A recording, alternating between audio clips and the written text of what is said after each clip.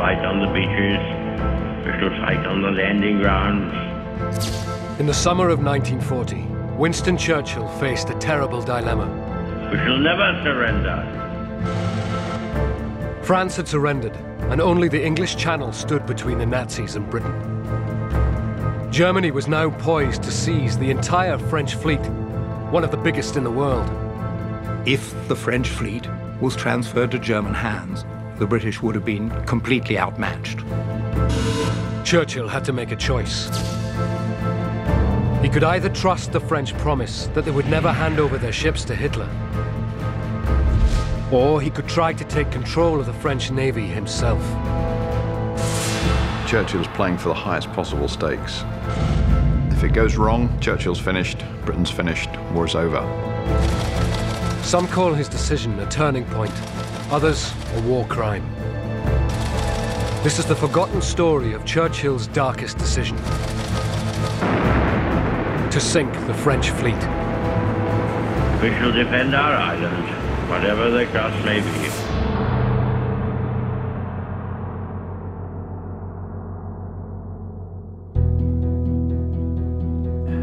To me, it was dreadful what we had to do.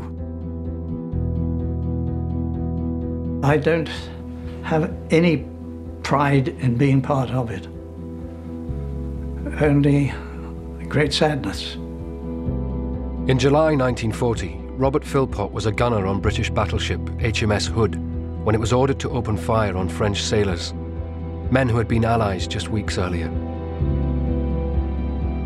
We couldn't believe that we were going to do it. A rare newsreel from the time includes footage of the attack known as the French Pearl Harbor. Les salves se succèdent.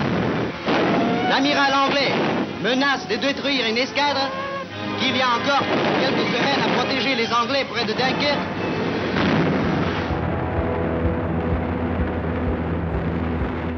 Leon Leroux was just 19 years old and still cannot forget the horror of the attack.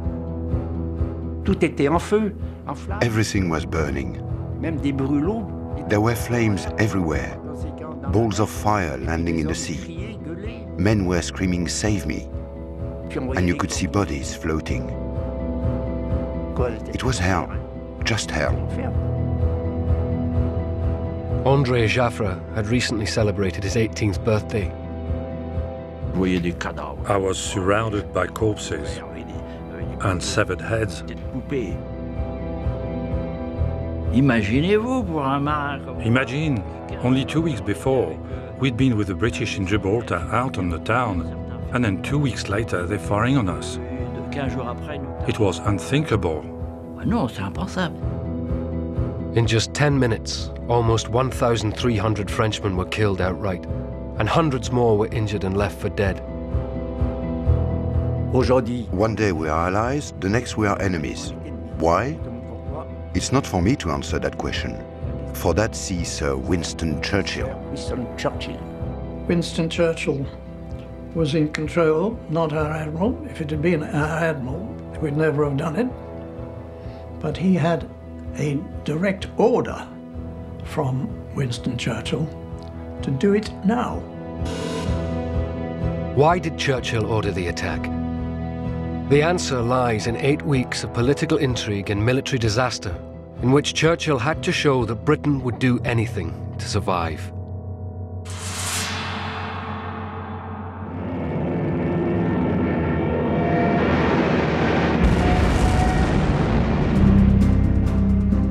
On May the 10th, 1940, Hitler's armies simultaneously invaded Belgium, Holland, and France. On the same day, Winston Churchill became Britain's new Prime Minister. Churchill was confident that the combined might of Britain and France could hold the line against Germany. The two nations had mobilized over 4 million troops and had signed a treaty stating that neither country would surrender unless the other agreed. Well, May the 10th doesn't look too bad. If the French can hold the Germans on the German-French border, the British will fight a naval and air war, blockading and bombarding the Germans, and eventually the Germans will be defeated. It could be worse. But the Allies were totally unprepared for Hitler's new kind of warfare. In just five days, Nazi tanks had broken through French lines. Blitzkrieg seemed to be unstoppable. With Hitler's troops threatening to capture ports just 20 miles from Britain, Churchill now faced the prospect of a German invasion. The key to Britain's survival was naval power. Britain had the largest navy in the world, but it was scattered around the globe, protecting a vast empire. In May 1940, the ships were not where they were needed. We simply didn't have sufficient naval power to guarantee that we could stop a German armada crossing the Channel and the North Sea. Desperately short of ships, Churchill knew there was only one person he could turn to for help America's President Roosevelt. For Churchill, who you have to remember is half American, uh, the thing that matters in 1940 is the Americans. From the start, in September 39, he's writing to President Roosevelt using this neat trick that they'd both been in naval administration earlier in their careers. And he's sounding Roosevelt out about coming to the assistance of Britain. He's trying to make Roosevelt understand that this is democracy's last throw, that if the British go down, America is next. Within hours of hearing the bad news from France, Churchill sent a telegram to Roosevelt. It was an urgent request for American warships. The scene has darkened swiftly. You may have a completely subjugated, Nazified Europe established with astonishing swiftness, and the weight may be more than we can bear. Immediate needs are the loan of 50 of your older destroyers.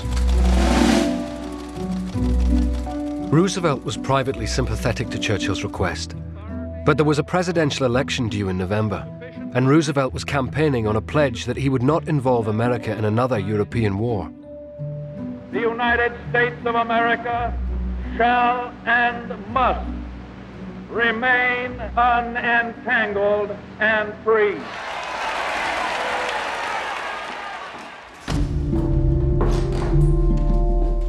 Two days after sending his request for aid, Churchill received Roosevelt's reply. There would be no American warships. By now, Hitler's panzer divisions had advanced deep into French territory. The British forces in Europe had been cut off and were retreating towards the coast, while the French army was in disarray.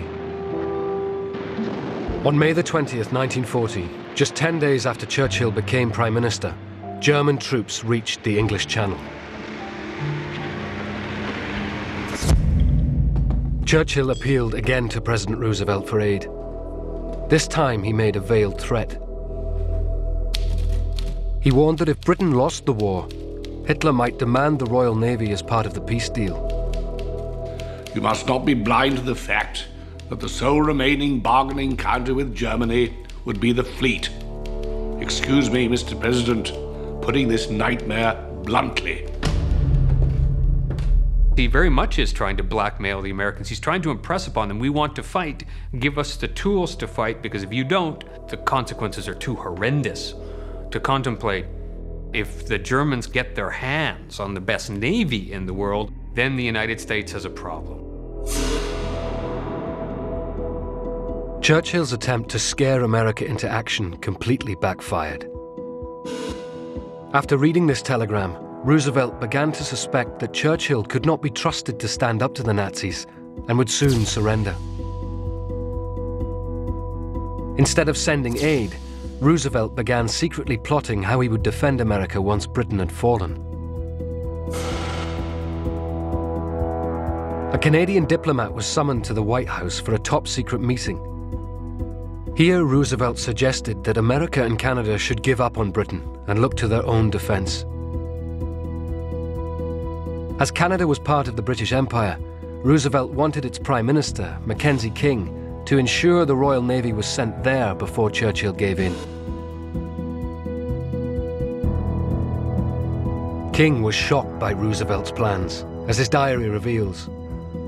It seemed to me that the United States was seeking to save itself at the expense of Britain, that it was an appeal to the selfishness of the dominions at the expense of the British Isles.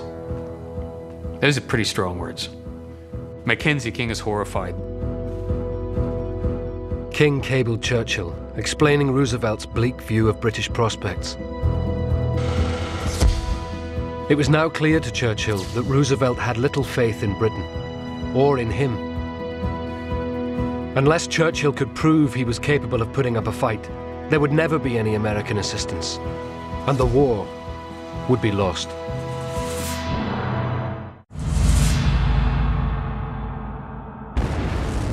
Within weeks of Winston Churchill becoming Prime Minister, the military situation in France turned from disaster to catastrophic defeat. The British Army were forced into a humiliating retreat from Dunkirk. While thousands of men were evacuated, the vital weapons and equipment were left behind and captured by the enemy. Mussolini entered the war on Hitler's side. The Germans advanced towards Paris, and the French army collapsed.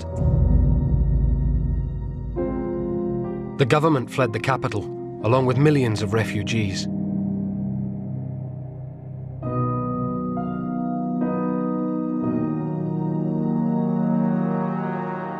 As Nazi troops entered Paris, French Prime Minister Paul Reynaud warned Churchill that he was on the verge of capitulation. Churchill was faced with the fact that if France surrenders, and it looks like it would be an abject, unconditional surrender given the situation, what will happen to the French fleet, which is substantial? Aircraft carriers, battleships. If the Germans can get their hands on that undamaged fleet, their ability to threaten British interests goes up exponentially.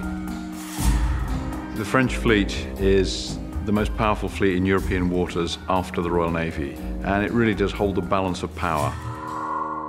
If the French fleet goes over to the enemy with Italy and Germany, the British are outnumbered at sea and they will lose the war.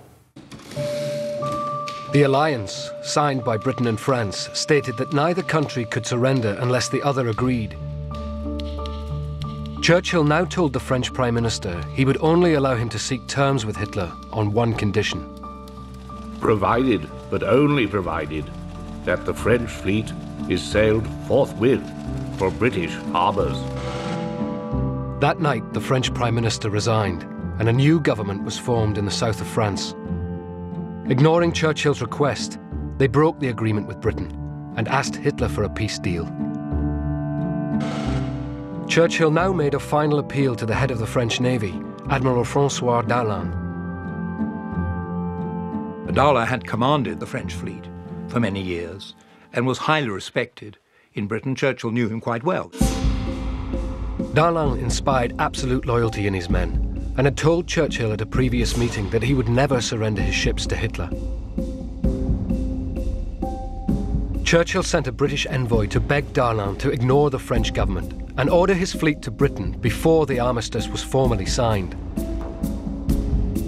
Darlan repeated his solemn assurance that he would never let his fleet fall into German hands. Churchill hoped this meant that the ships would soon be on their way. But as the days passed, the French Navy didn't move.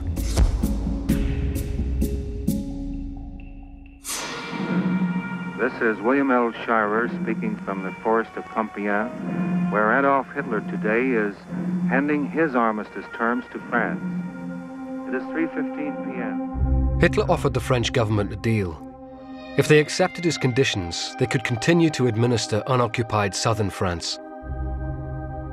One of Hitler's requirements was that the French fleet must return to home ports within weeks, where it would remain under German supervision. The French government agreed.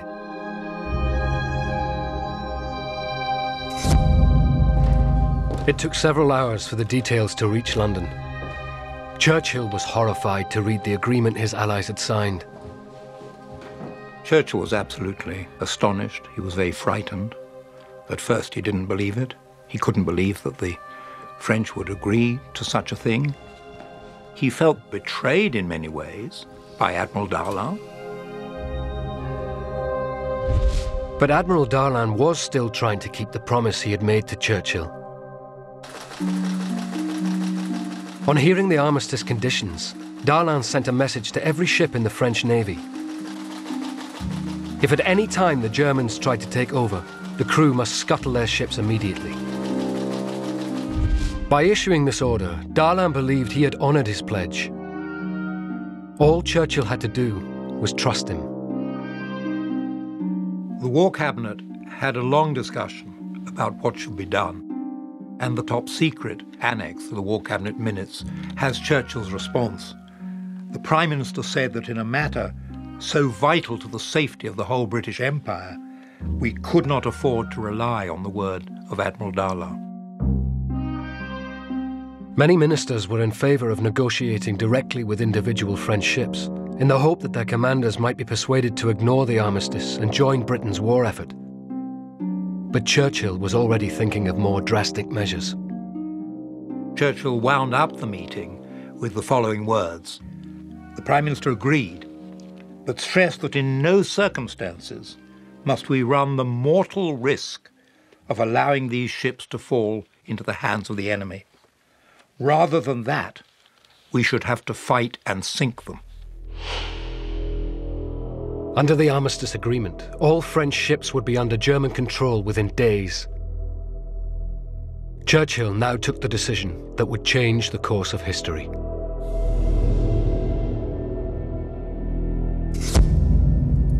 He ordered the Admiralty to draw up a plan to secure the French fleet by persuasion or by force. It was called Operation Catapult. Operation Catapult is high stakes. If it goes wrong, if it goes badly wrong, Churchill's finished, Britain's finished, war's over. This is Churchill saying we need to do this to stay in this game. Operation Catapult would involve several simultaneous actions around the world. There were 14 French warships, several submarines, and almost 200 smaller vessels in British ports preparing to return to France. These would be seized in a dawn raid. At Alexandria in Egypt, there was a French battleship and four cruisers, but they were trapped inside a British base. The most important targets were in French Algeria. The town of Oran had a fortified harbour called Mers el Kebir. Moored here was the main French battle fleet, including the two ships that Churchill feared the most. The Dunkirk and the Strasbourg were modern battle cruisers that could outclass most British ships. At Mers el Kebir, they were supported by two older battleships, six destroyers, and submarines, forming a deadly strike force. Hoping to avoid a violent confrontation with this powerful squadron, Churchill personally drafted an ultimatum for the French admiral in Mers el Kebir. It offered three choices. A. Sail with us and continue the fight. B. Sail to a British port. C. Sail to a French port in the West Indies or to the United States. If you refuse these fair offers, I must, with profound regret, require you to sink your ships within six hours.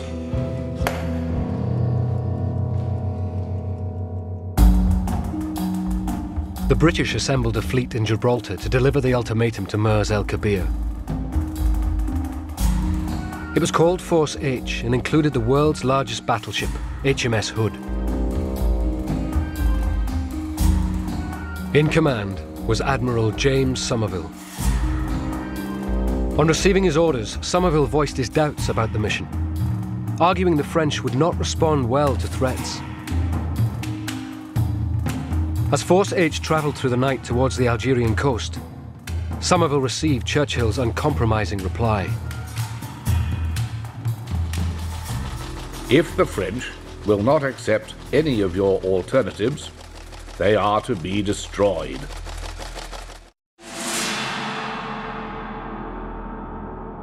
On July the 3rd, 1940, Winston Churchill launched a global operation to seize the French Navy. It began with troops boarding all French vessels in British ports.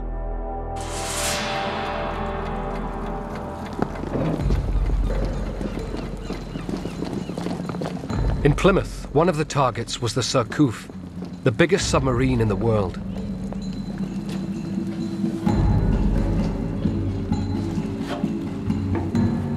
Hearing the noise upstairs, the French captain woke his men and went to investigate.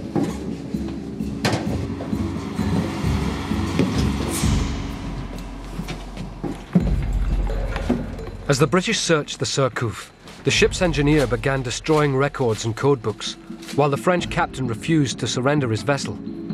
Je ne bouge pas. Moments later, there was a sudden eruption of violence.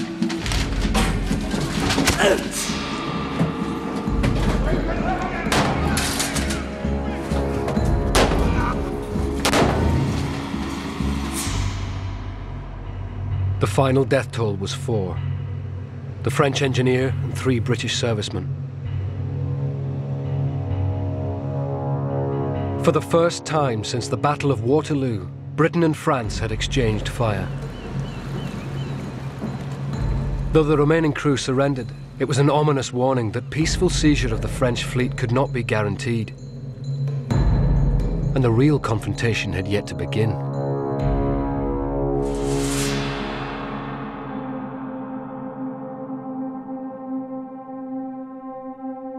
As the sun rose over the Mediterranean, Force H arrived at Oran, ready to present Churchill's ultimatum. Robert Philpot was a 20 year old trainee gunnery officer on the British flagship HMS Hood. Really, it was all very peaceful. Nobody was doing any firing. There was a fairly happy mood on board. We all firmly believed that the ships would come out and join us. We know the French sailors were just anxious to get on with the war.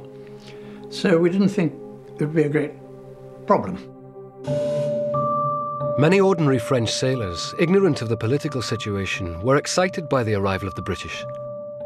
André Jaffre was an 18 year old gunner on the French battleship Bretagne. Et notre officier is Our officer scrutinizes the horizon, then looks sourire. through his binoculars and smiles. Qu'est-ce qu'il y a, capitaine What is it, Captain? Eh, voilà la marine anglaise. The British have arrived. Au large. C'est vrai. Really? Oui, ils viennent nous chercher. Yes! We were happy. We thought they'd come to get us to continue fighting against the Nazis. Leon Leroux was a 19 year old messenger on board the French admiral's flagship, the Dunkirk. Rumors travel fast, so we found out quickly that there was a British fleet outside the port of Oran. And we heard that a small torpedo boat, the Foxhound, had entered harbour. And so we thought it was a bit odd. The Foxhound had been sent ahead to open negotiations while the rest of the British fleet waited several miles offshore. On board was Captain Hookie Holland, a fluent French speaker who had been the naval attaché in Paris. The Foxhound signalled the French commander, telling him that Captain Holland wanted a meeting.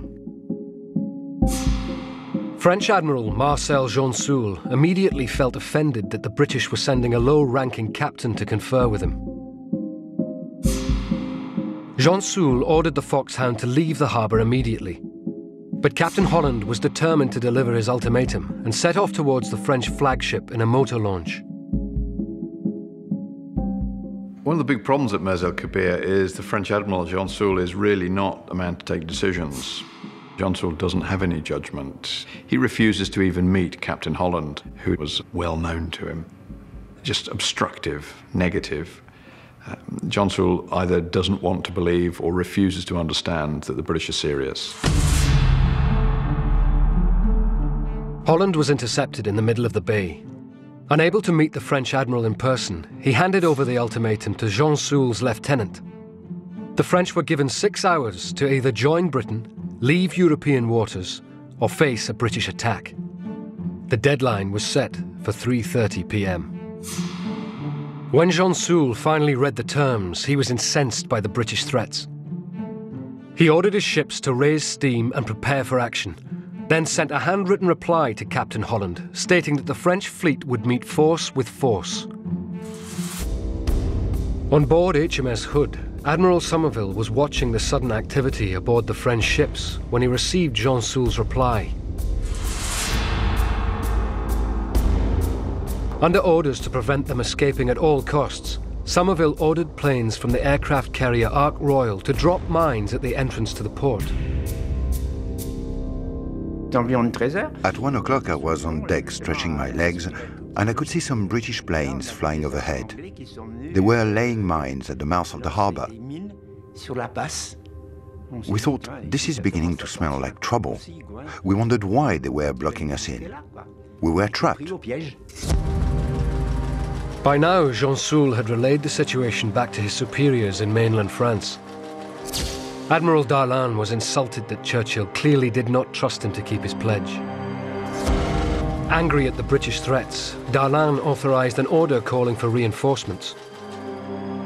All French forces in the Mediterranean were ordered to Mers el Kebir to support Gensoul.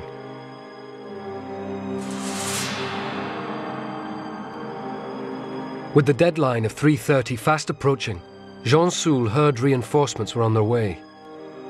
Playing for time, he now invited Captain Holland onto his flagship.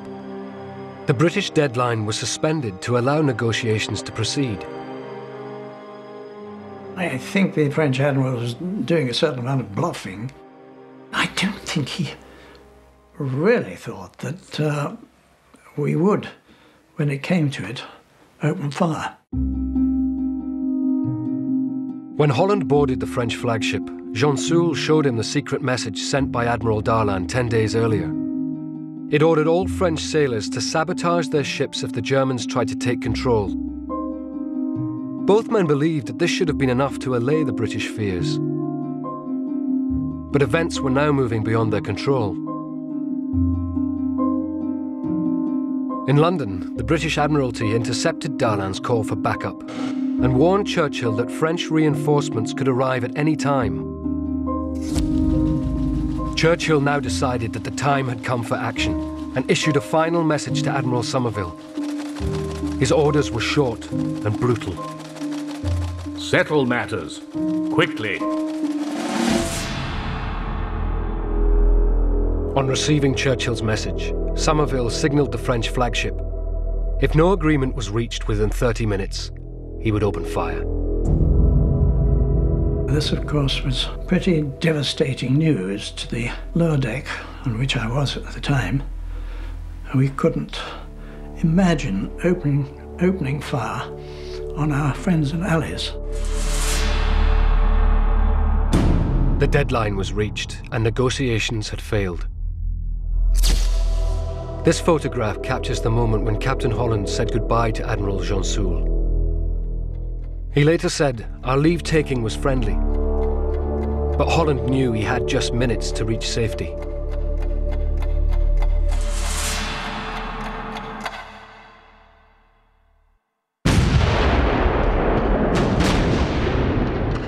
Admiral Somerville's squadron unleashed one of the most concentrated big gun broadsides in history.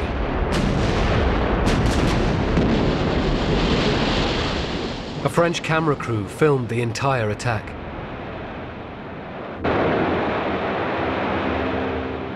Unable to maneuver inside the docks, the French warships were sitting ducks.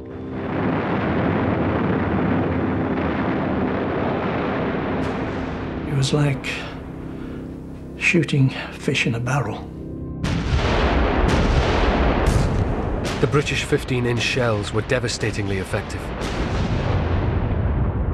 The third salvo scored a direct hit on André Jaffre's ship, the Bretagne.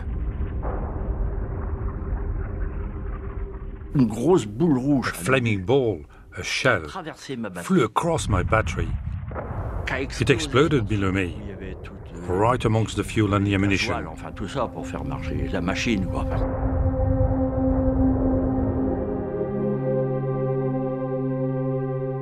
I was still next to my gun, and I began to singe. My feet were burning. My shoes were on fire, and I was pleading with the Lord and the Virgin Mary. What's happening to me? I don't want to die age 18.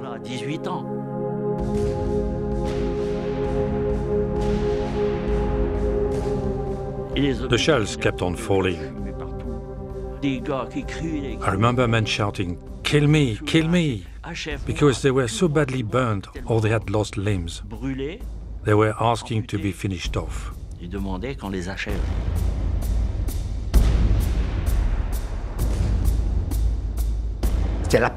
It's just panic, total panic. So many shells, you wonder how much damage is this causing? And how many more will they kill?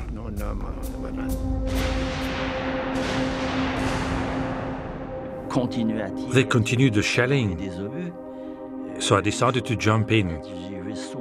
I wanted to go as deep as possible to be sheltered from the gunfire. But when I jumped in, I fell into boiling oil, so I let myself sink. I was so burnt. It was so painful. So I tried to swim underwater as far as possible from the boat. But I needed to breathe. And every time I surfaced, I came up into boiling oil. So I had to breathe in smoke and oil. And I'd dive again. I did that for as long as I could. Tant que j'ai pu. As Andre struggled in the burning oil, he turned to see the fate of his ship, the Bretagne, and its crew of over a thousand men. À un moment donné, quand même, Eventually, I found an area with no oil. carré où il n'y avait pas de mazout. Et là, j'ai fait la I turned onto my back, and from there, I saw an appalling sight. J'ai assisté à un spectacle mais abominable. The Bretagne was capsizing completely.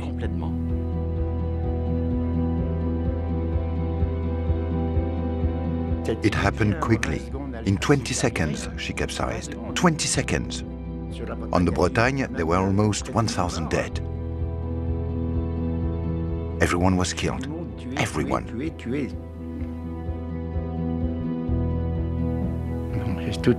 And that was the end of those poor men.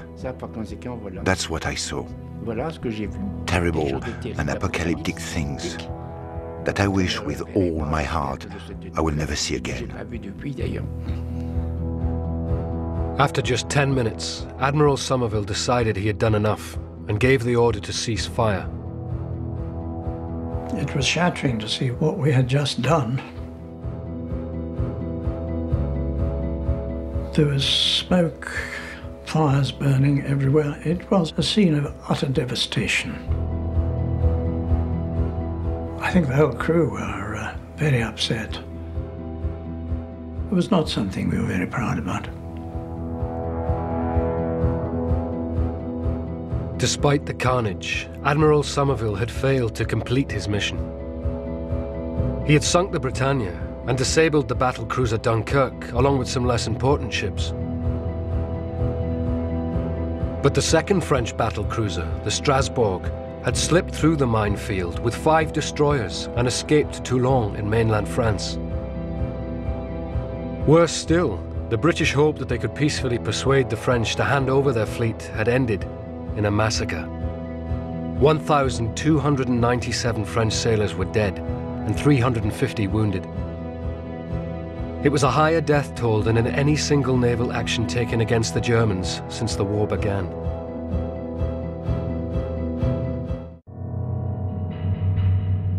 Elsewhere, Operation Catapult was more successful.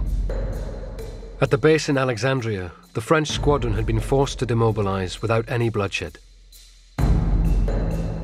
In Britain, almost 200 vessels, including the submarine Surcouf, had been seized and were now under British control. But Churchill knew he would now have to explain to Parliament, the public, and the American president why Britain had apparently declared war on France. In France, the news of the massacre at Mers el Kebir caused outrage. There really is a risk that the French will declare war. Had Admiral Darlan had his way, the French would have gone to war straight away. He's apoplectic. French bombers made a retaliatory raid against the British naval base in Gibraltar. But they inflicted little damage and there were no casualties. The French government was still reeling from the German occupation of northern France. With millions of starving refugees to deal with, they were in no position to take further military action. Instead, they severed diplomatic relations with Britain for the duration of the war. We thought, who are these English savages? It was hate, just hate. Allies the day before and enemies the day after. They come and sink us. What do you expect the French to think? It was a betrayal. But not only a betrayal, it was murder. When your hands are tied behind your back and the barrel of a gun is pointing at you, would you call that a crime? Yes, it's a real crime. It's murder. For Hitler, it was a golden opportunity for anti British propaganda. Posters appeared of a drowning French sailor and depicting Churchill as an octopus grasping at the French Empire. Churchill himself was horrified by the scale of the French casualties. When Churchill got the news of, of Mers el Kebir, he was physically sick. He was devastated. He obviously had great difficulty in knowing how to explain it because he thought that there would be outrage in the Commons that we had fired upon an ally. On July the 4th, 1940, his 54th day in office, Churchill made a speech to the House of Commons justifying his decision. It was later broadcast to the nation. The transference of these ships to Hitler would have endangered the security both of Great Britain and the United States. We therefore had no choice but to act as we did. John Colville, Churchill's private secretary, wrote in his diary He told the whole story of Oran, and the House listened enthralled and amazed. Gasps of surprise were audible. I heard him say, This is heartbreaking for me. When it was over, he, he started crying. He, he, he began to cry. He was quite overwhelmed. The reaction from Parliament was completely unexpected.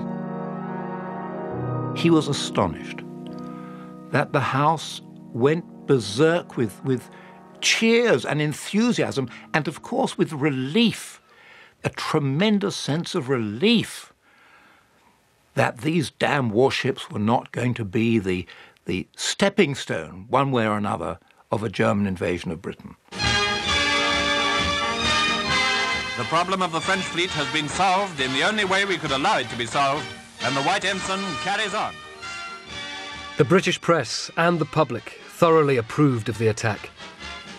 From the Royal Navy and from the nation, there is wholehearted support for the government's action. But the reaction that mattered most of all to Churchill came from America. Roosevelt, when he heard of what Britain had done, finally laid to rest his lingering doubts that Britain didn't have the strength or the guts to carry on. As a result of el Kebir, Roosevelt said, I can send them the supplies they desperately need the guns, the ammunition, the aircraft, the tanks because they're not going to give in.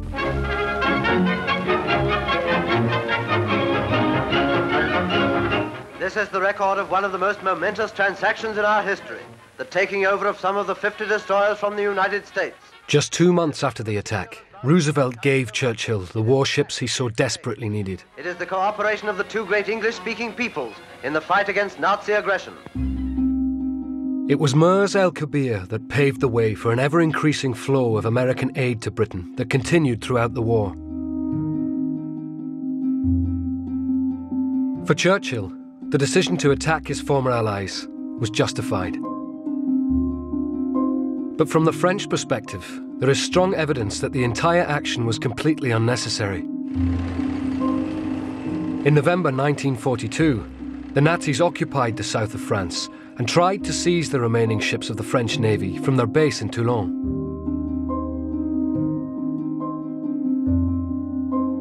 After surviving Mers el Kebir, Andre Jaffre was in Toulon when news arrived that the Germans were advancing on the port. In the middle of the night, everyone was woken up.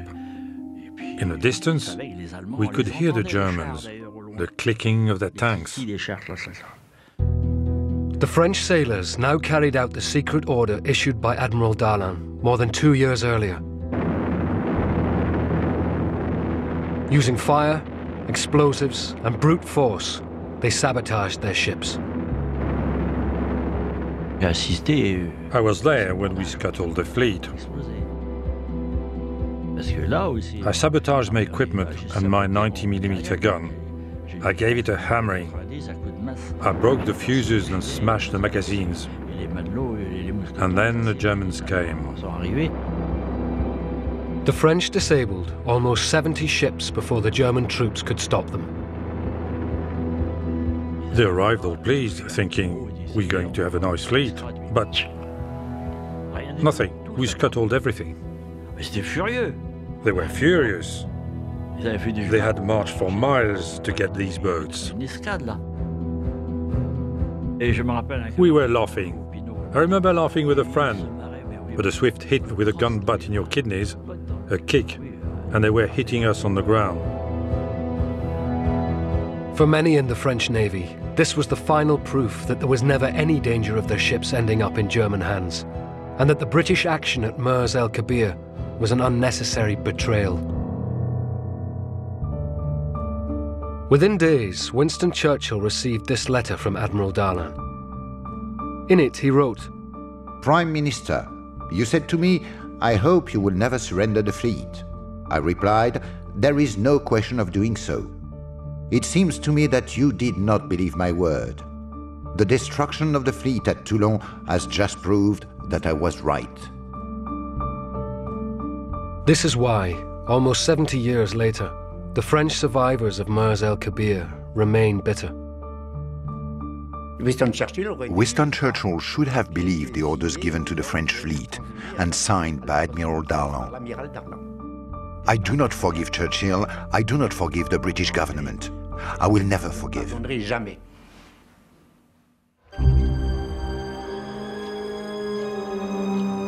Despite what he suffered, Andre Jaffre bears no grudge towards the British. It's not betrayal. It was war and everything that comes with it. Have you ever seen an intelligent war? Let's say I was sad, deeply sad to know that our English friends had sunk us. But what can you do? I speak as an equal, as a French sailor to a British sailor. It's our bosses who decide. And it's always the same ones who suffer. In his speech in the House of Commons, Churchill said that history would, would be the judge. What has history decided? For the French, it was almost a war crime that Britain then killed more than 1,200 French sailors. For the British, it was the only way that Britain could survive. We had no choice. If the Americans had been in the war at that stage, we could have perhaps coped. But the Royal Navy wasn't big enough to cope with the German fleet and the French fleet. So distressing it was, but it had to be done, and that in wartime one has to do distasteful things.